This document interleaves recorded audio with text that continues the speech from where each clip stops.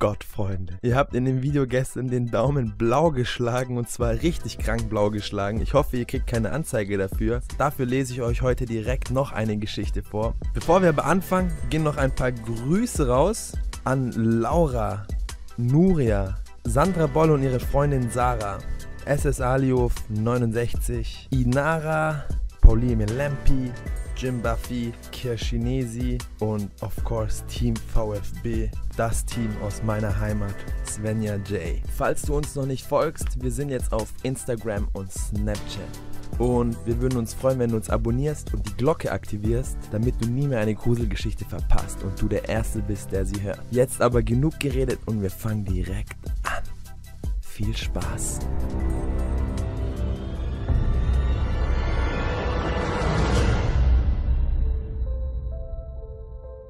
Unknown. Hi. Me. Ähm, hey, kennt man sich?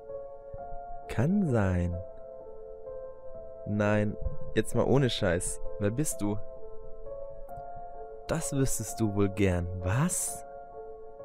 Okay, hör mal. Ich kann dich auch einfach blocken. Ich hab dich schließlich nicht angeschrieben. Bleib ruhig, Girl. Ich sag dir schon noch, wer ich bin. Glaubst du im Ernst, dass ich jetzt einfach so weiter mit dir schreibe, ohne zu wissen, wer du bist? Ja. What the fuck? Wie kommst du darauf? Gib's zu, ich hab dich neugierig gemacht. Hm. Hä? Okay, na schön, vielleicht ein ganz kleines bisschen. Aber bild jetzt bloß nichts darauf ein. Ein paar Minuten später. Bist du noch da? Vermisst du mich denn etwa schon? Haha. Sag mir wenigstens, ob du ein Junge oder ein Mädchen bist. Was soll das Ausrufezeichen? Äh, was soll das Fragezeichen? Mann, ich kennzeichne meinen Satz als Aufforderung, so wie du deinen als Frage. ist ja gut. Calm down. Antwortest du mir nun? Na schön. Ich bin ein Junge. Aha. Komm, geht noch ein wenig mehr Begeisterung? Ich habe dir gerade den ersten Hinweis auf meine Identität gegeben. Was soll ich denn deiner Meinung nach tun? Luftsprünge machen? Zum Beispiel. Fick dich. Fünf Minuten später. Soll ich ihm nochmal schreiben? Und warum antwortet er mir nicht mehr? Warum zum Henker mache ich mir Gedanken darüber?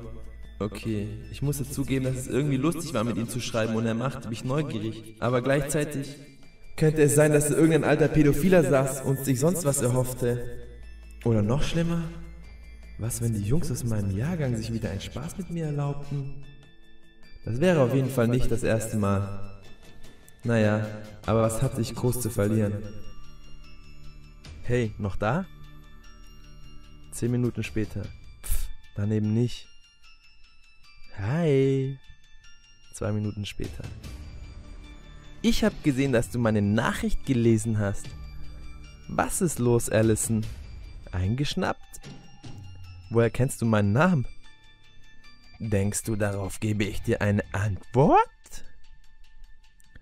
Okay, du kennst meinen Namen. Also entweder kennen wir uns oder oder du bist ein extrem kranker Psychopath. Du meinst ein Stalker plus. Ich korrigiere mich. Fragezeichen. Kommt aufs Gleiche hinaus. Aber wenn du schon damit anfängst, muss ich mir Sorgen machen?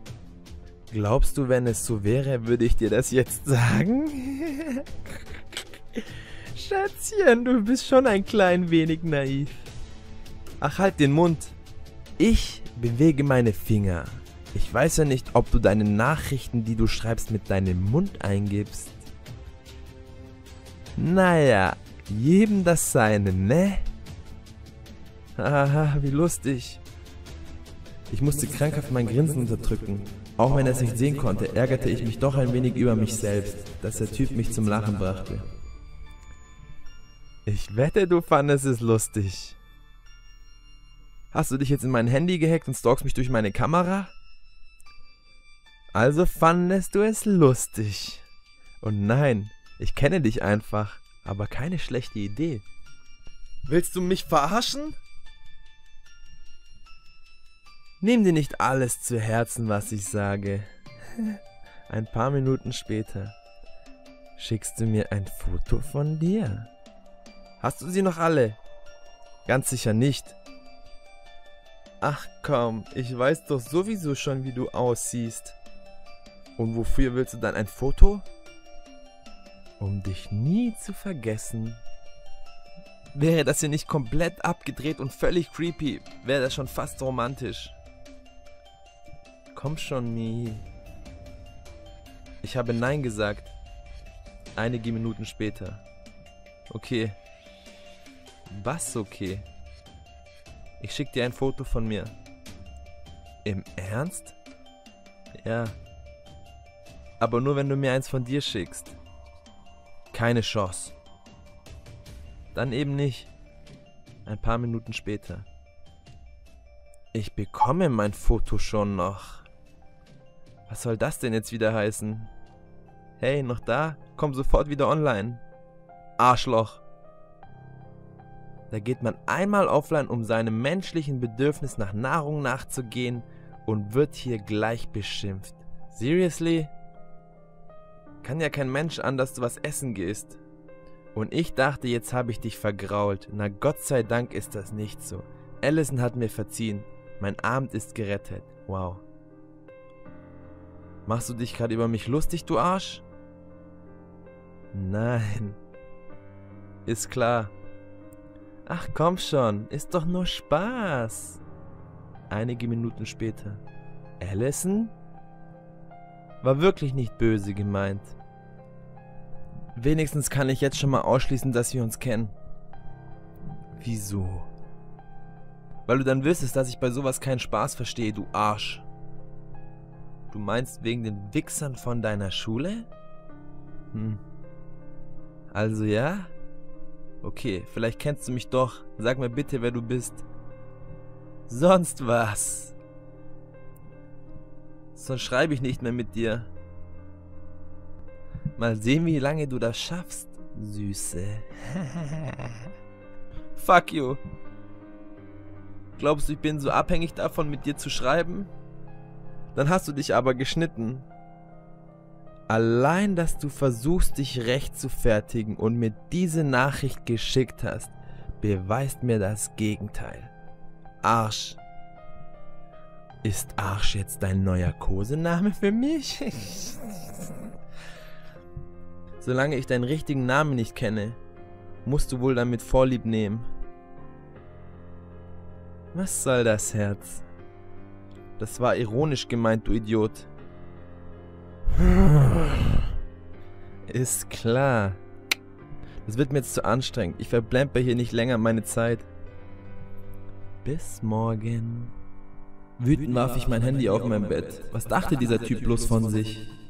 Ich war doch nicht abhängig von irgendeinem doofen Chat. Zugegeben, er war der Einzige, mit dem ich schrieb, da mich niemand von meiner Schule leiden konnte, seit... Hey... Wie geht's dir? Seit wann fragst du, wie es mir geht? Seit ich gehört habe, was heute bei dir los gewesen ist. Spricht er sich wirklich so schnell rum? Tut mir echt leid, das war wirklich eine Scheißaktion von denen. Ich brauche kein Mitleid. Wenn du meinst? Trotzdem tut es mir leid, das war ernst gemeint. Hm, ja, ja, schon gut. Reden wir über was anderes. Wow, seit wann willst du mit mir reden? Keine Ahnung. Hey, du scheinst dich echt scheiße zu fühlen. Kann ich dir irgendwie helfen? Du könntest mir ein Foto von dir schicken, damit ich weiß, wer du bist. Du willst mich nicht sehen. Glaub mir. Ach komm, bist du jetzt einer der Typen, die rumjammern, wie hässlich sie aussehen? Nein, sei unbesorgt. Ich bin mit meinem Äußeren zufrieden. Ich weiß einfach, dass du es genießt, nicht zu wissen, mit wem du schreibst. ist weniger Druck und du versuchst nicht krankhaft nach mir Ausschau zu halten. Na, du scheinst dich ja auszukennen. Sag mal. Ja? Woher hast du eigentlich meine Nummer? Hm. Hä? Sag schon. Von einem Kumpel.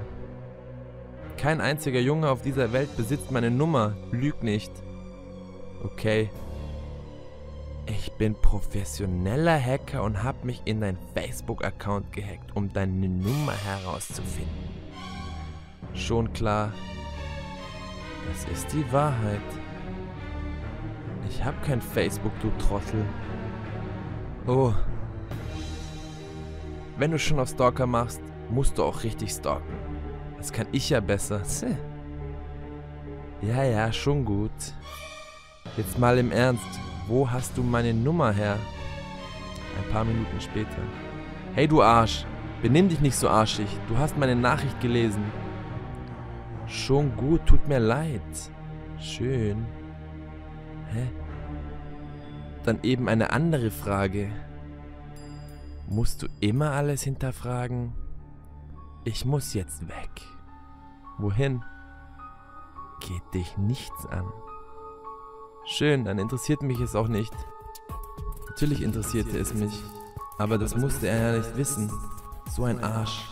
Erst schreibt er mich an und dann erlaubt er es sich auch noch, mich nach so einem beschissenen Tag eiskalt abzuwimmeln. 22.32 Uhr. Hey. 22.38 Uhr. Bist du sauer? 22.56 Uhr. Okay. Es tut mir leid dass ich vorhin so abwesend war. Ich wollte nur vermeiden, dass du zu viele Fragen stellst. 23.25 Uhr. Okay, ich sag dir, wie ich heiße. Ehrlich? Nein. Arsch. Wenigstens bist du jetzt wieder online. Wenn du mir nicht ein wenig mehr über dich sagst, dann höre ich auf mit dir zu schreiben. Okay, ich heiße Chase. Chase also. Okay. Danke, dass du mir wenigstens deinen Namen gesagt hast. Vorausgesetzt, das ist dein richtiger Name. Ja, ist es. Hm, ich weiß zwar nicht, ob du die Wahrheit sagst, aber ich glaube dir jetzt erstmal. Okay. Sonst noch irgendwelche Fragen? Wie alt bist du? Was denkst du? Keine Ahnung. 50? Bitte sag, dass ich mich irre. Hahaha, du irrst dich.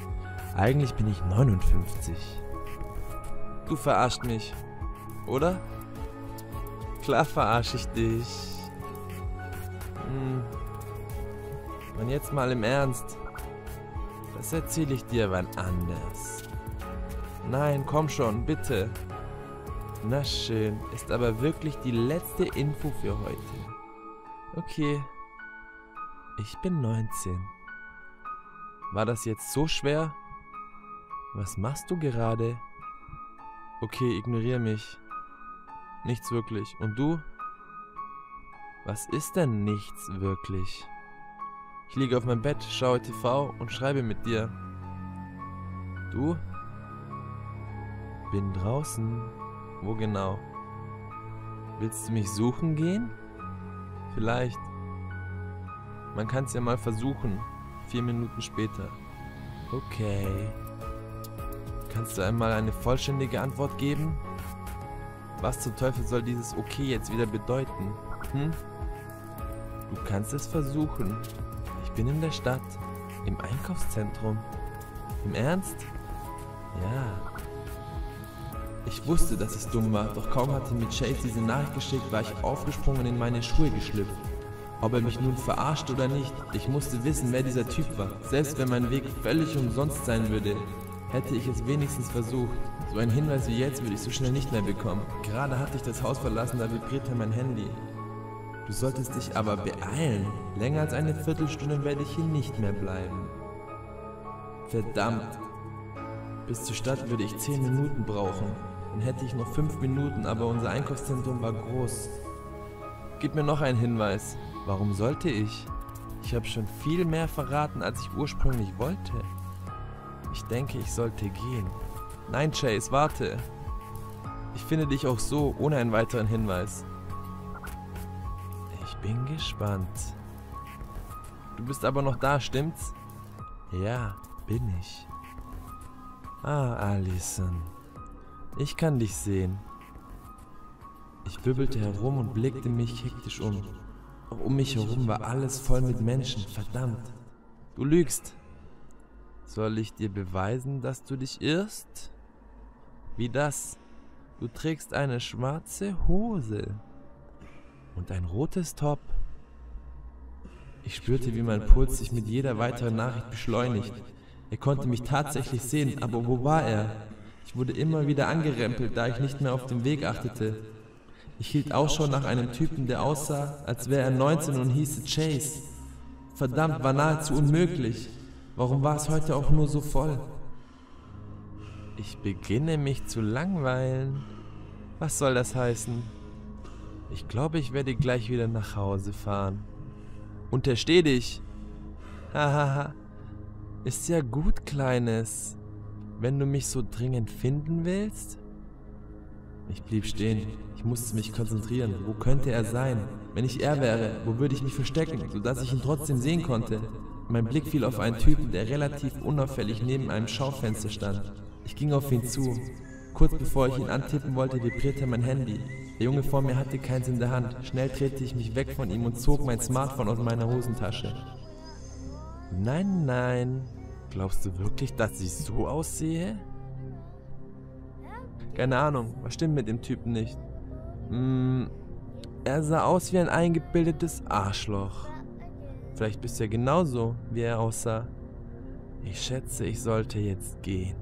Nein, Chase, nicht. Zwei Minuten später. Chase, sag mir, dass du noch hier bist. 13 Minuten später. Sorry. Zwei Tage später. Hey, bist du sauer? Was denkst du? Du bist sauer. Bingo. Es tut mir leid, dass ich abgehauen bin, aber mir wurde das Ganze einfach zu eng. Du hast einige Male zu mir rübergesehen und kamst mir zu nah. Ich wollte nicht, dass du mich entdeckst. Warum hast du mich dann dorthin bestellt? Du hast gefragt. Was hättest du getan, wenn du ich wärst? Hm, wahrscheinlich dasselbe. Sorry. Pass auf, ich habe keine Lust auf so ein krankes Spiel. Geh jemand anderen damit auf die Nerven. Hey, komm schon. Was kann ich tun, um es wieder gut zu machen? Mir endlich sagen, wer du bist und warum du ständig mit mir schreibst. Weil ich dir leid tue? Was? Nein. Doch nicht, weil du mir leid tust. Wie kommst du denn darauf? Warum dann? Du kennst mich doch eigentlich gar nicht. Also was willst du von mir? 13 Minuten später. Hey Chase, antwortest du jetzt nicht mehr oder was? Ich weiß nicht. Was heißt hier ich weiß nicht? Schreibst du aus Langeweile? Hm. Was hm? Antworte mir doch ein verdammtes Mal. Na schön. Wenn du es unbedingt hören willst, ich schreibe dir, weil ich mich langweile. Zufrieden? Ja, eigentlich überhaupt nicht. Ich wusste nicht, was ich erwartet hatte oder was ich mir erhofft hatte. Aber zu hören, dass er mir nur schrieb, weil ihm langweilig war, tat trotzdem weh. Aber ich wollte schließlich wissen und er hatte mir die Wahrheit gesagt. Jetzt musste ich wohl damit leben. Wahrscheinlich hätte ich genau in diesem Moment aufhören sollen, mit ihm zu schreiben. Doch ich hatte mich, auch wenn es nur wenige Tage gewesen waren, schon an unseren täglichen Chat gewöhnt. Es war eigentlich nichts Besonderes, aber trotzdem irgendwie eine total verquirlte Weise zum Highlight meines sonst so verdammten beschissenen Lebens geworden. Ich seufzte. Doch er war wie alle anderen. Zwar war er nicht fies oder grausam, jedenfalls nicht direkt, doch nur aus Langeweile zu schreiben war auch nicht sonderlich aufbauend. Drei Tage später. Hey, also Allison, es tut mir ehrlich leid, ich hätte dich nicht zum Einkaufszentrum bestellen sollen. Das war scheiße von mir und ich hoffe, du kannst mir nochmal verzeihen. Aber ich habe gesagt, ich schreibe nur aus Langeweile. Ich weiß, ich habe gesagt, ich schreibe nur aus Langeweile, aber das stimmt nicht. Ich... Ach, keine Ahnung. bin nicht gut in sowas. Naja, irgendwie ist es halt ganz cool mit dir zu schreiben. Zwei Stunden später.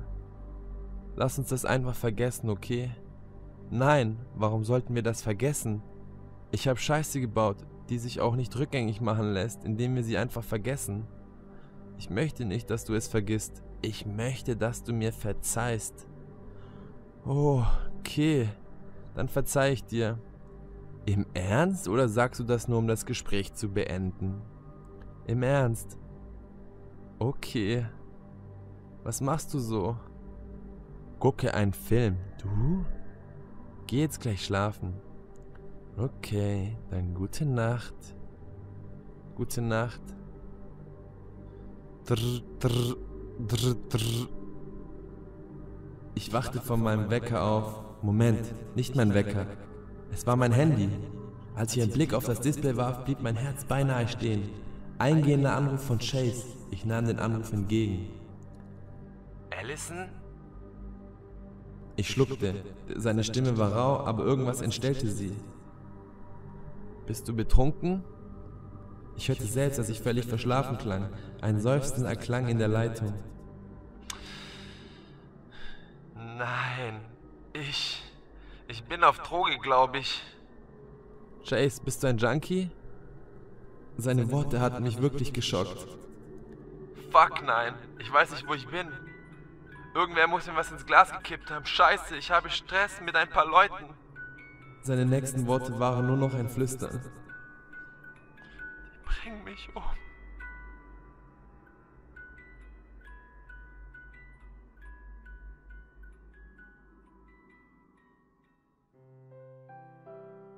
Oh mein Gott, Freunde. Richtig krasser Plot-Twist. Am Anfang dachte ich selbst, Chase wäre ein Stalker und ein Psychopath. Aber dass sich Allison dann in ihn verliebt hat und wirklich nicht mehr ohne ihn konnte, damit hätte ich nicht gerechnet. Was meinst du? Lass es mich gerne in den Kommentaren wissen. Man kann dazu eigentlich nur sagen, Leute, seid nicht so doof und fallt wie Allison darauf rein und schreibt mit irgendwelchen unbekannten Leuten. Allison natürlich hat auch gedacht, es ist ein Psychopath. Trotzdem hat sie sich dann irgendwie doch in ihn verliebt, verschossen krass einfach. Keine Ahnung, was ich jetzt denken soll. Ich muss mich erstmal sammeln. Auf jeden Fall hoffe ich, dass es euch Spaß gemacht hat, mir zuzuhören mit dieser Geschichte hier. Wenn es euch gefallen hat, würden wir uns freuen, wenn du uns abonnierst. Dann verpasst du auch nie mehr eine Folge.